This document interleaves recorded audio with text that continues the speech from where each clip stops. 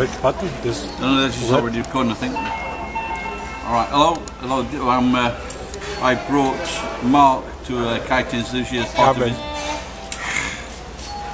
I have brought Irwin with a W to his Kaiten Sushi, and I'm going to show him the cool way to put. Uh, to put shoyu if you put it like that sometimes it's a pain in the bum to do that so you, like that you can't get enough shoyu one so get a piece of Gary. This is this is Gary. This is Gary the same name as me. This is a pickled ginger. And so sometimes I tell people my name is Shoga or Gary okay? So the cool way is dip the uh, pickle in there and just paint it. That's it, and that's a cool way.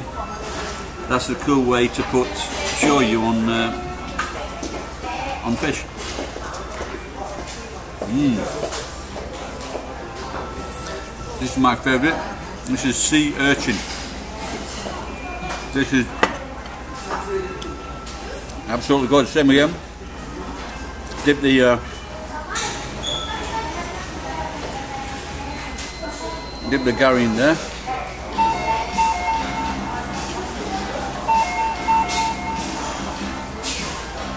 Okay. Yeah.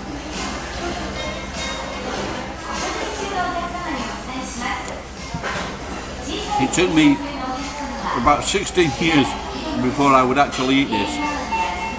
And this is the best taste ever. This is so smooth.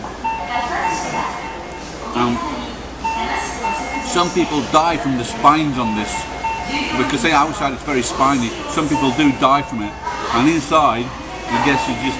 In fact, when I was in Spain about 30 years ago, I actually stood on one of these and I had to go to the hospital and I had to have the, the needles taken out by a doctor and it cost 5,000 pesetas and I'm still complaining about it.